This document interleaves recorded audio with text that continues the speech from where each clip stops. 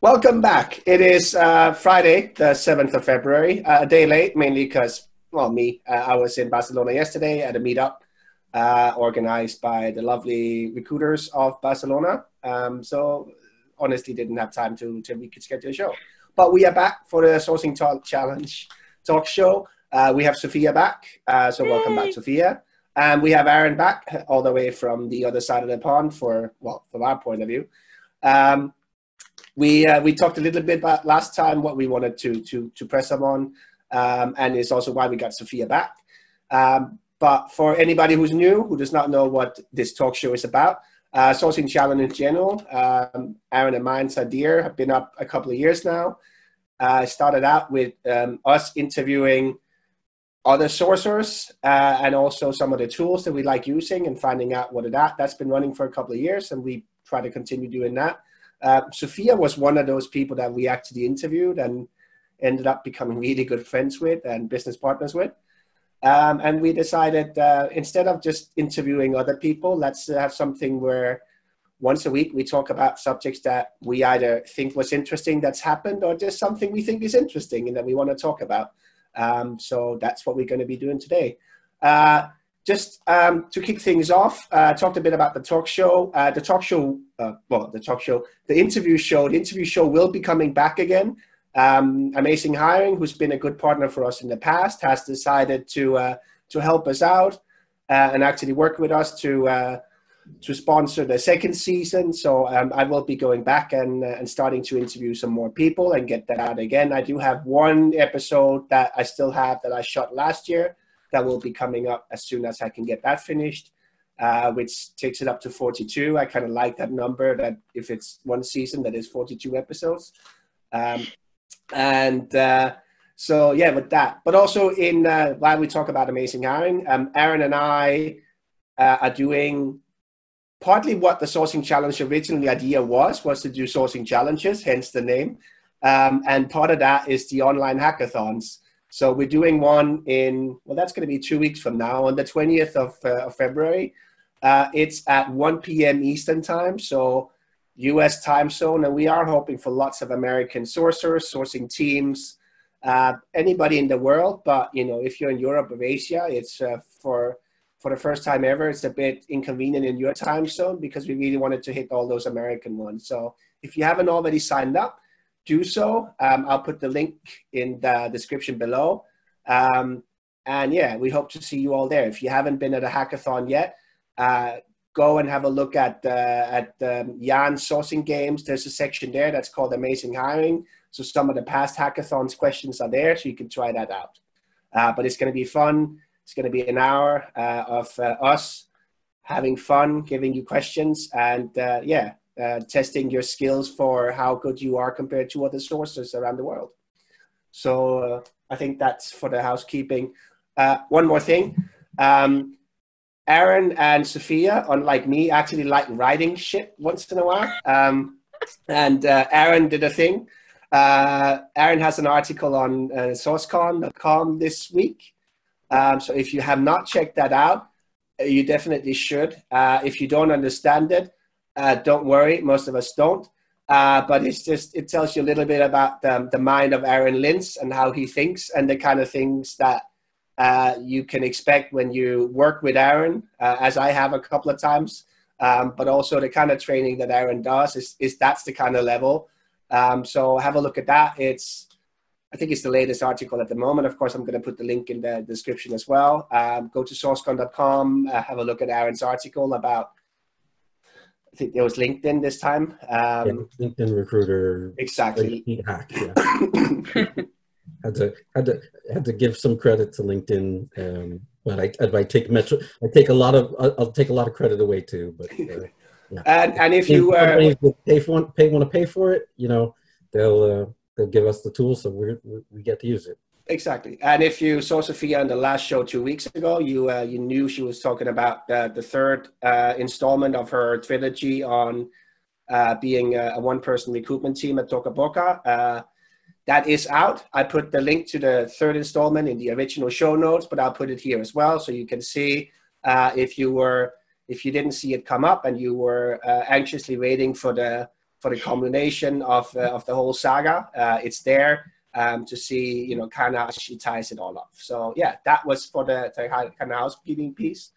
Um, and yeah, like Sofia, one of the reasons that, that we wanted to to get you back, um, other than you know just having fun, uh, is we talk a lot about this, and I think like for all three of us, it's it's something we definitely agree on. We we might do things differently, but one thing we do agree is on LinkedIn, never being the only tool we use or the only place we use, but also rarely being the first place we go to.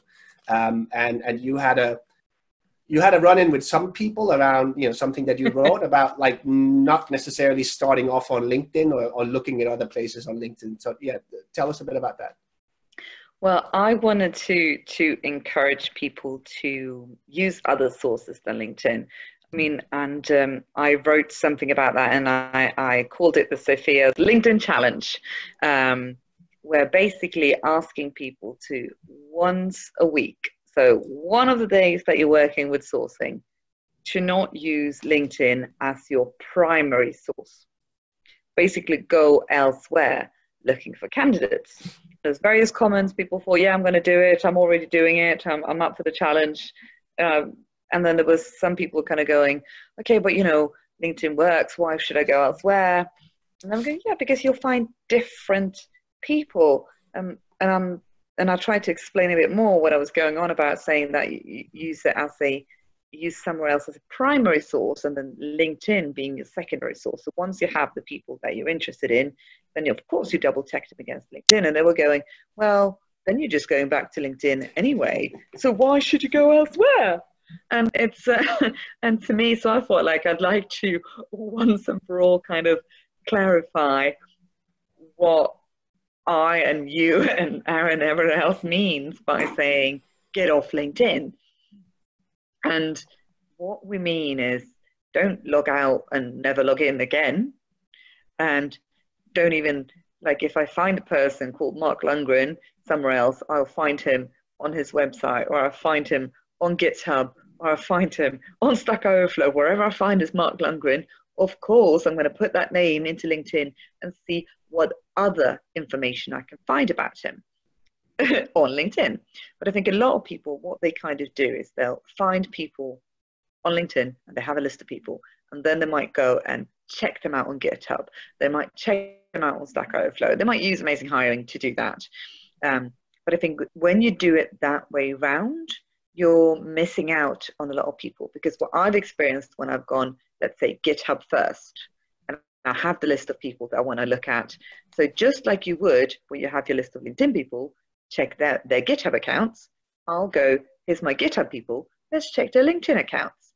And what happens when you have it that way around is you'll find people who created a LinkedIn account, let's say five years ago, and never logged in again so all it says is Mark Lundgren, developer, nothing else. Yeah. You would not have found that person if your search had started on LinkedIn. Then you might have the other person, when you find their LinkedIn profile, it looked like they fit, quit a job in 2016 and they haven't worked since. exactly. Again, that person just stopped updating their LinkedIn profile. It doesn't mean they haven't worked in 2016.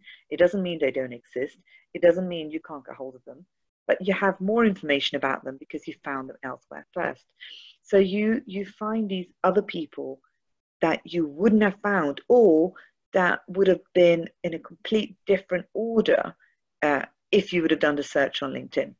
And also, let's say if you go meetup group first, you might find people who have joined a group because they're interested in a programming language, but they, you know, they haven't updated their LinkedIn profile. They might be in a group about Golang. I mean, yeah, I mean, especially like we've done a lot of Golang, and a lot of that is it, it, it. might even we still have people like, oh no, I never put that. I didn't put it on my LinkedIn profile. One because they didn't necessarily they didn't think themselves proficient enough to actually be something that they wanted to put it on, and or two, they don't really care whether it's on their LinkedIn. Like if they if it's not there when they set up their profile, they're not going to add it uh, because that's only recruiters doing that.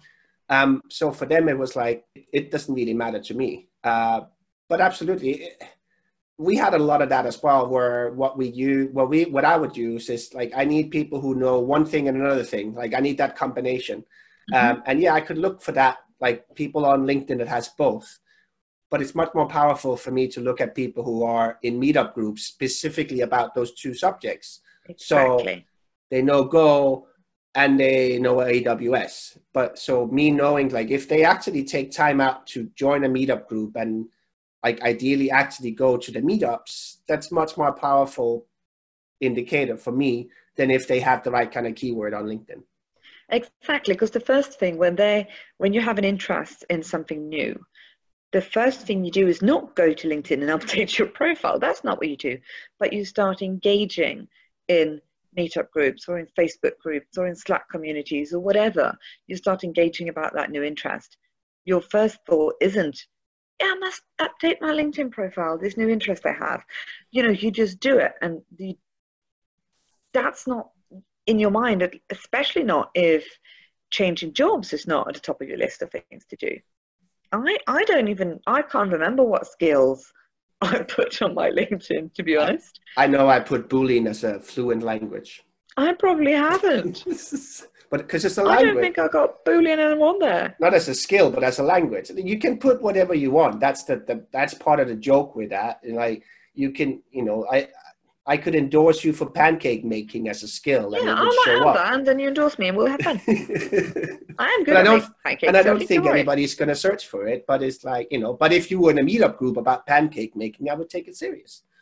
Exactly, and and that's what I'm saying. So I'm not saying don't look someone up on LinkedIn, banned, but it's kind of try get a list of people together based on somewhere else. I mean, what um, specifically? I work with my wife now, and she's a sourcer as well. And uh, one of the so similar kind of things, she doesn't start on LinkedIn uh, because it's you know makes no sense for what we're doing. But every platform has a specific part that it plays. Um, and for what we're doing, we need people who speak good English, mm-hmm. which is hard to gaze unless you talk to them or you see what they've been writing. Um, and LinkedIn, a lot of the times, like yes, you can go in and see, okay, what what did they indicate that their language proficiency is, but you can also just check what are they writing in their job, like when they write about what they're doing or what their job is, what have they been writing? And if that's Eastern European or Southern European, just like when you can see, it's like, have they written in English? How do they write? Do they have a medium? Are they writing a medium? Do they have their own blogs and things like that? That's where she gazes that. So that's what she spends a lot of times. Like she's like, I don't want to waste somebody's time convincing them to talk to me to like that they might want to relocate. And then I have a call with them and they can barely string two words together in English. She's like, she's I like, I, I just don't, I want to make sure that I don't you know give but, them but too much that reminds me of another interesting thing with languages on linkedin i don't know whether at least a lot of swedes when you put your languages they don't put swedish on there no, or no. they put the languages like on top of their native language. So a they lot of countries to mention the, the native thing. languages. Yeah. so it's like you can't even do that. You can't even search for okay i'm gonna need somebody who knows swedish.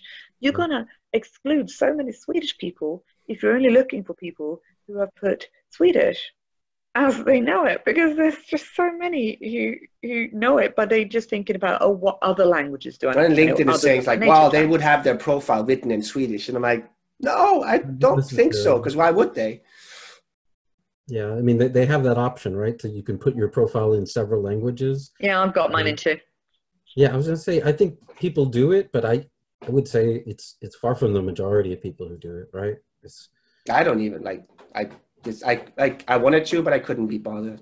Don't you so have just, one in Danish, Mark? No. No, I don't. Because I know you don't. I've I've worked like my career in total has been like what two three years in Denmark. The rest of it has been you know English speaking or German. So it's like I've, I've never had never needed a Danish a Danish facing profile. Yeah. But going elsewhere, and looking for information about you, I might discover that you speak fluent Danish. Yeah. And, and that's, that's, the whole that point. conversation starter that yeah. that separates you from the everyone else, you know.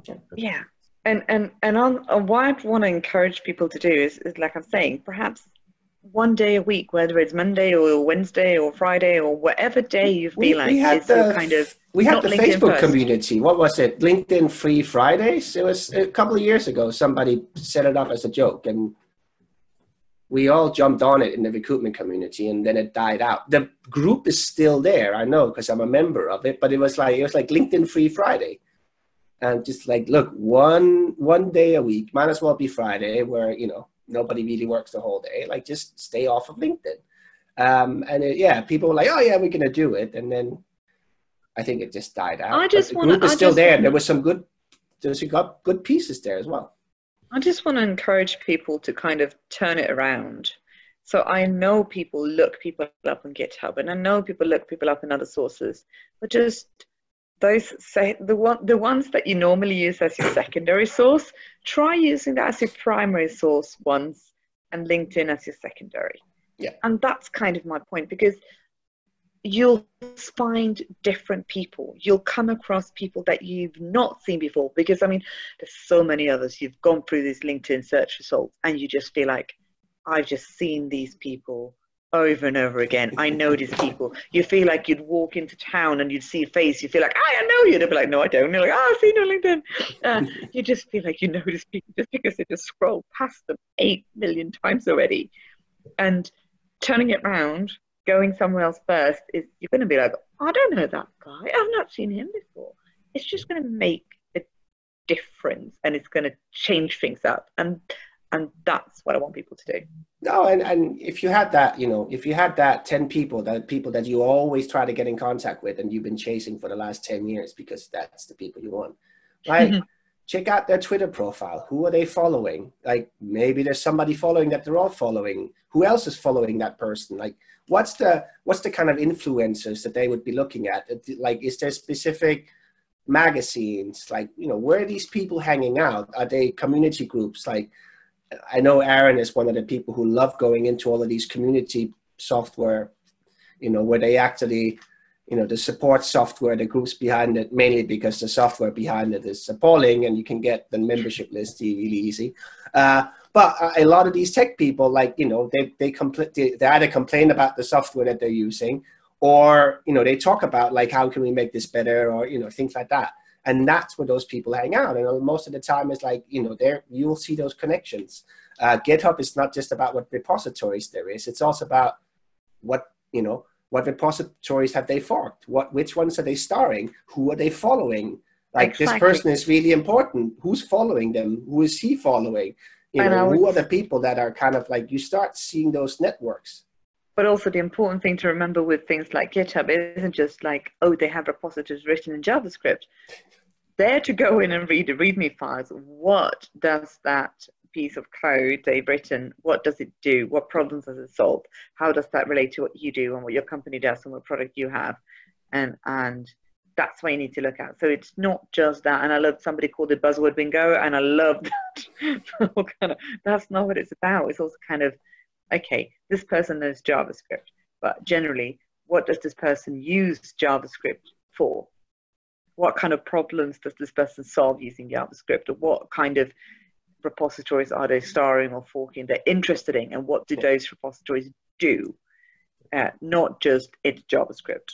I have a javascript job for you. Come join us because yeah it's all you the same. There's no difference, right? So yeah, absolutely. And I mean conferences. Mhm. Don't forget conferences. Like you know, no again, if you want to go, there's sourcing, there's advanced sourcing training that Sofia and I are doing, and then once you've taken every training in the world and you think you know everything, then you go in and take like Aaron's training and you start completely from scratch and think that you're a like you know you're a baby and you know nothing. Uh, but that's the kind of thing. It's like yes, you can get all the speakers at a conference. Um, you know, we used to like how do we find all of these conference you know people that go to conferences? It used to be like people were stupid enough to leave Excel sheets all over the internet. They're not anymore, but there's ways. And uh, yeah, Aaron has spent the Yeah. last four years figuring out what, what those ways are. So uh, yeah, definitely. And and that's the kind of thing. It's like I don't think Aaron spends more time on LinkedIn than he has absolutely has to. But you know, again, Yeah. these people these people show up on LinkedIn. You just found them something completely different. Yeah, I was to say, so, so last time we spoke, Sofia brought up and and I read her productivity on her blog, and it was, and she wrote just a, just a tiny little piece. She used it that you could use Zapier to get um, new people who join a meetup group, and so I built it, to, and I was like, oh, it actually works. This is awesome, and It is, isn't it? Yeah, it's really clever. I mean, so yeah, yeah. So you have to. Uh, let me ask you this to be sure, but you have to be a member of the group, right? To then you'd see the people Yeah. Yeah. Yes, okay. you do. So, so I started doing that, and I was like, and and so I tied that into the. Well, I, I wrote about that in in that article on SourceCon, and, it, and Calling all me super about- smart. Because I said you were super smart, which was no joke. That was hundred percent because I didn't know that you could do that, and and uh, so I learned I learned something from you, and uh, and and I still think you're super smart. Now you got an extra star, um, but uh, yeah, it's, it's just what I do is um, you know I use LinkedIn Recruiter as our uh, C- CRM, and actually just the other day somebody, which I thought was evil, but I got this list of people from a, a conference again, and somebody messaged somebody back, one of the recruiters back, and was was kind of terrible. Was was one of these "I'm do don't you know who I am" kind of messages. I am Keyser Söze. Yeah, and it was this was small batch sourcing. This was it was with even on LinkedIn Recruiter. We're sending uh, attached PDF that I made that was really sharp.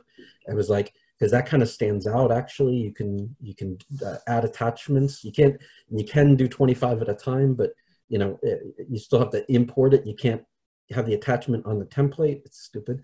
Um, but um, yeah, just so now I'm going back and tagging. I have a tag for speakers so that they so they can we can small batch those people and you know Make them But- feel extra special. They can feel extra special. And it's, it's it's not all of them i think some of them more than others. But um yeah i'm sure i've i've i've ego tripped that myself. Um how dare i get the same message with someone else.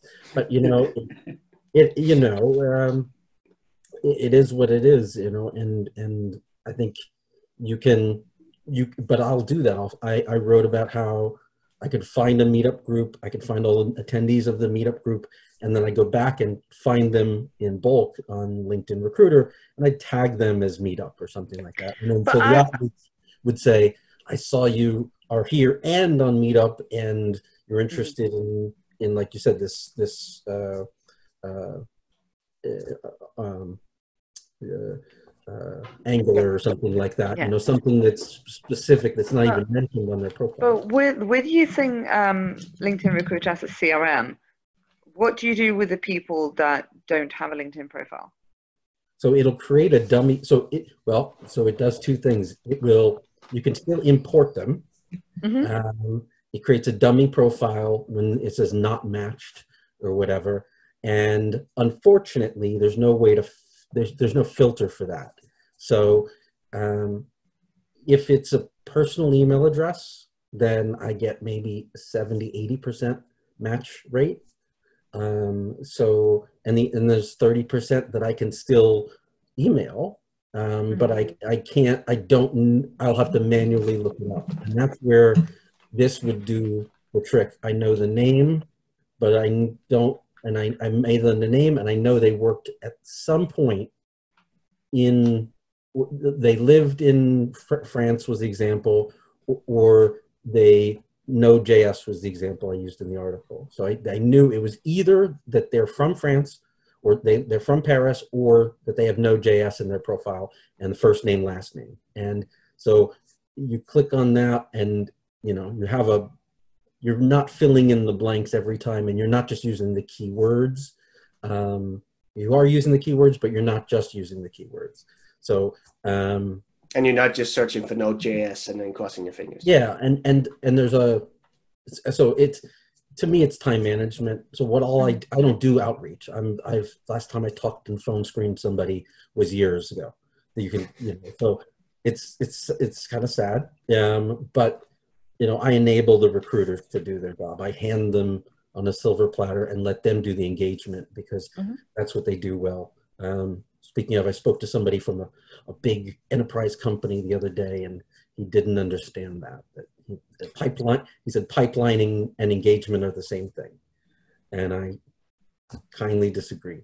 Um, I was like, those are two very unique skills. You know, I, I you know, some they're some you know, some of us do do yeah do more of it, but go yeah. in circles, and then there's the Formula One drivers that can turn right also.